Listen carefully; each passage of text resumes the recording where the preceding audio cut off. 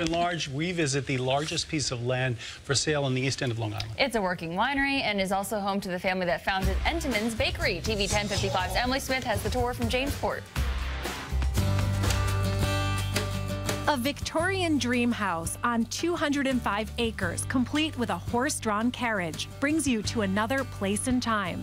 The seller, Robert Entenmann, the grandson of the bakery founder William, famous for his chocolate-dipped donuts in clear packaging. Corcoran's Sherry Winter Clary gave us the tour. Robert built this home, he started in 1980, and it uh, started as a thoroughbred horse farm.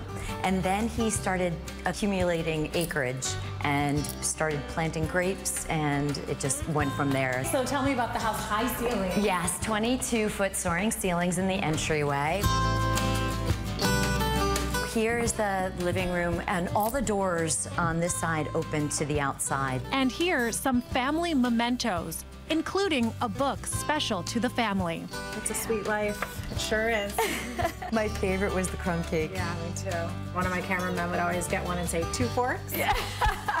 the home has a commercial baking kitchen made for making large quantities. Even though the family sold the company decades ago, sweets remain a passion. They make those chocolate frosted donuts? I think he's done it for fun. They have a real kitchen too, blonde bleached oak with two of everything commercial grade.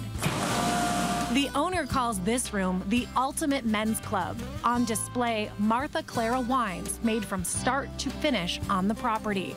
Again, named after his mother. An oval dining room shows off the property, along with the same shaped master bedroom just above.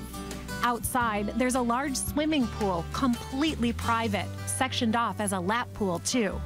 Just a few steps away, a phenomenal stable of thoroughbreds roaming the property. He's like eating my hair. He is, totally. Along with Clydesdales and even Scottish Highland cattle roaming the pasture as the family's pets. To live large at Biggie Ranch in Jamesport, it will cost you $25 million.